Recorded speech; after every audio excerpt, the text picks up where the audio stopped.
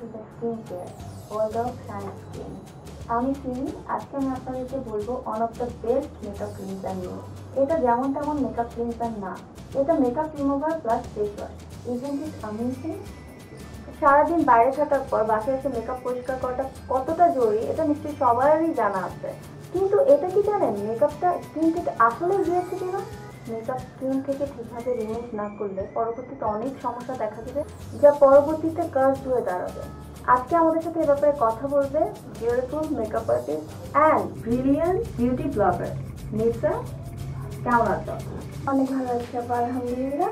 আপনারা অলরেডি সবাই জানেন আমি একজন মেকআপ আর্টিস্ট কোচিং করতে পারো, আমি স্কিন কেয়ারের সাথে কীভাবে? তো আমি যদি মেকআপ করি, অনেক সময় দেখা যায় যে মেকআপটা স্কিনে বসে না। এই একমাত্র কারণ স্কিনটা অবভিয়াসলি ভালো না। সুন্দর মেকআপের জন্য দরকার সুন্দর স্কিন আর তাই সায়েন্স স্কিনের স্কিন কেয়ার ক্যাম্পেইনে নিজেকে ইনভলভ করলাম। থ্যাংক ইউ সো মাচ আপু। স্কিন কেয়ারের প্রথম ধাপটি হচ্ছে ক্লিনজিং আমরা যদি আমাদের ফেস খুব ভালো মতো ক্লিন করি, তাহলে কিন্তু হাফ প্রবলেম আমাদের স্কিনে চলে যায়, আপু, তাই না?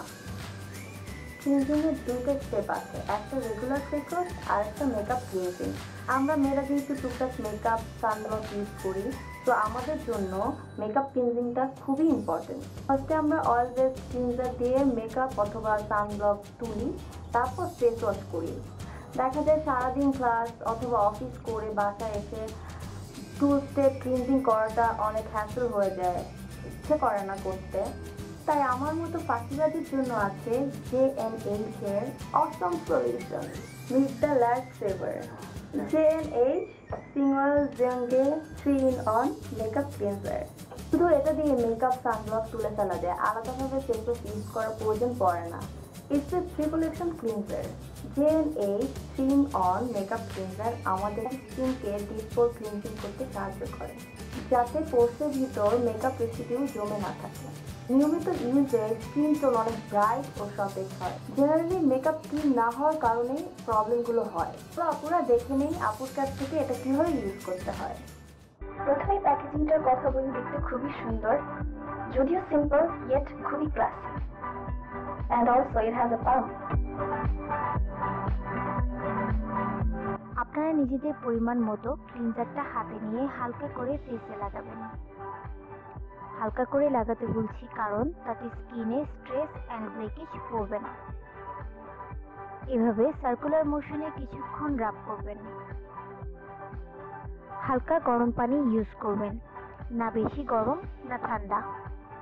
আমরা আরেকটা যা করি ফেসে পানি দিয়ে ধোয়ার সময় জোরে স্প্ল্যাশ করি। এটাও করা যাবে না। You have to treat your face like baby after cleansing don't wipe your face with towel পানিটা রাখার চেষ্টা করবেন। It's good for the skin basically any time ক্লিনজারটা use করতে পারবেন। কারণ বাহিরে ছাড়া ঘরেও কিন্তু ডাস্ট থাকে। সুতরাং সেই সিবামটা ডাস্টের সাথে মিশে পোর ব্লক করে থাকে। রান্নাঘরে থেকেও আমরা সানব্লক ইউজ করে থাকি। তখনও we must use this for deep cleansing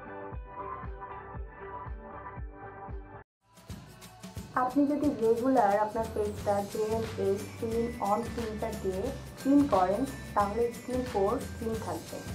কখনোই মেকআপ অথবা সানব্লকের রেসিডিউগুলো জমে থাকবে না।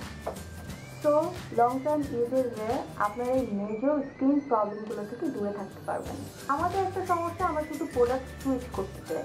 একটা প্রোডাক্ট স্যুট হতে সময় লাগে। You must continue it long term যাতে প্রোডাক্টের ফুল বেনিফিটটা আপনি নিতে পারেন।